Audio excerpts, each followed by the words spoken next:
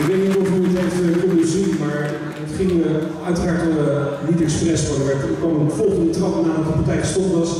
Het is de eerste ronde jeugdpartij. We stoppen de partijen. we gaan eh, op basis van veiligheid dit doen. Deze tijd geen uitslag. No contest.